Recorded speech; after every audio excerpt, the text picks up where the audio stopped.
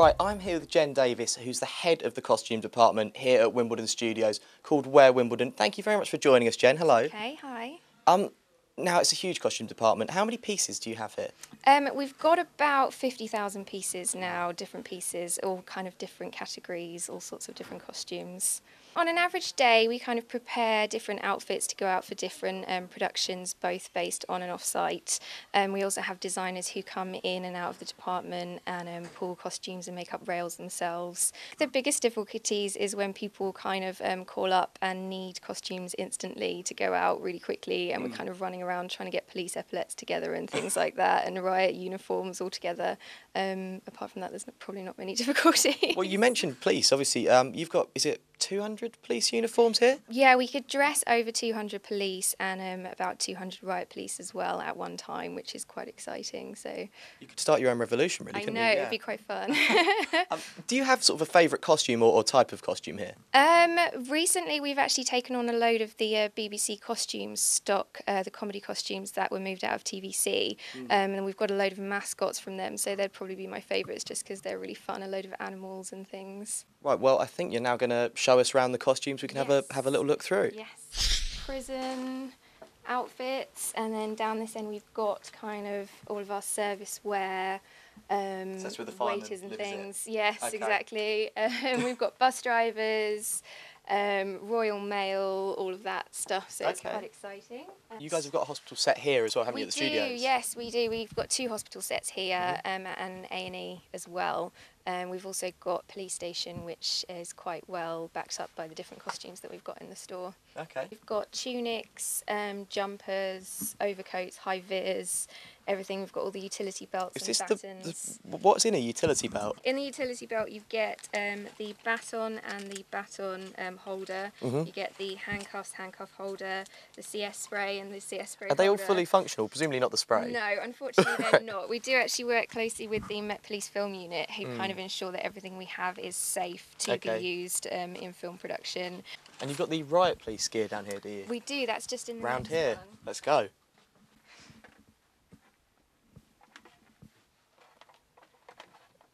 It's quite snug. what do you think about that, eh? Bit of the touch of the Darth Vaders, I feel. Loads of hats, Mm-hmm. everything to kind of suit any size, and um, all the helmets.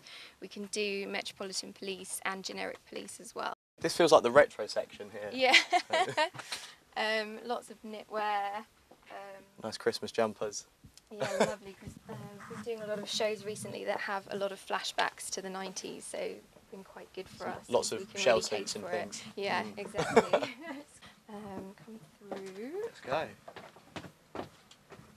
All our ladies' wear is kept upstairs. Um, I think we've got a load of wedding dresses here. Um, and all the wedding accessories to go with it as well.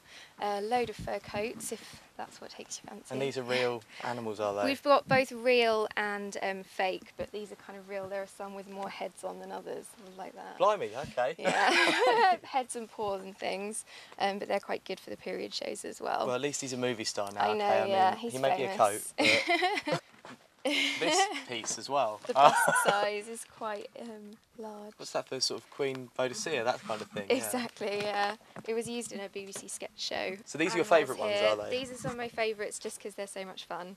Um, we've got Bunny Rabbit, we've got some puffins, a teddy bear, bumblebees, a pirate, and and some showgirls and glitzy bits. You always need showgirls, don't you? Exactly, Yeah. yeah. We've got maternity wear and we've also got a lot of padding. Is that baby bumps? It is, yeah. We've got um, pregnancy bumps. This is a real um, silicone one, so that you can use it on camera Oh, okay. and show the skin on camera, which is quite good.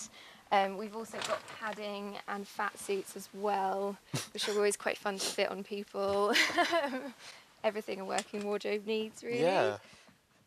Uh, schoolwear, Okay. both period and present, so lots of different bits and pieces. Uh, we've got a bit of military. I don't know if you want to stick your head Oh, down here we go. Have a look down there. And this sort of period military stuff as well. We've got some, yes, World War Two, and then some present. The RAF pilot, I think. I mean, that's what I've always been gearing towards. Okay. So uh, if you ever need to dress as a tramp, we've got things that are kind Mm. of pre-broken down. I'll bite my Um, tongue. Joe. If I need to, I'm sure I can achieve that look and on my own. all Yeah. over. Some quite good broken down suits, and uh, we've got lady tramps as well, um, which are always quite popular because it saves time for designers to kind of break things down themselves. They can use, start with a base like this, okay. and then um, build upon it. To Because I always assumed you would just get someone in a suit and just make it dirty. You can do that, um, but it is quite time consuming. Mm. Um, if there's different specifications, we can do that here as well. We've got all the kind of breaking down um, utensils. So, What, yeah. what is a breaking down utensil? Um, there's a lot of different paints used um, and dusts that are specifically for breaking down. Also, a lot of um, sandpaper. Is that something you would handle yourself then? Yes, it is. Okay. Yeah. So we do all of that here. We've got a huge stock of doubles, so we can make one really dirty or make it look like they've been run over or shot or something. Oh and then wow. One that's just kind of the plain. So how do you go about making if, if someone was shot? How do you get that look? Um, it would probably be a hole and then lots of blood around it, and it depends how they'd been shot and what the circumstances Mm. were. But it can be quite fun to do. Oh wow. Because I'm thinking of that bit in The Godfather where Sonny gets shot and he's sort of all frayed everywhere. You thought, need a lot. yeah. How do they do that? Specialist sports, um, roller skates, Oh my word. which you can try on if you want. Go everywhere. Yeah, that, that's I've had bad experiences on roller skates in my time. I was the hippie section. Yes, hippie and new age pieces. Um, we dressed about 20 hippies for um, a show quite recently, Mm. and they were all in a sketch there, so that was quite good fun. Um, we've got So if, if Ethnic. If they're shooting, you sort of you'll you'll go down to the set and you'll sort of have a chat with them and with all your costumes and go, does this work? Is that is that how it goes? It's normally um, before the shoot. They'll either come in here and build outfits themselves, or they'll kind of send over their specifications, and we'll put outfits together for them, already for shoot day. Okay. Uh, Jen, thank you so much for showing us around, doing such a wonderful job at Wear Wimbledon. Thank you. Thank you.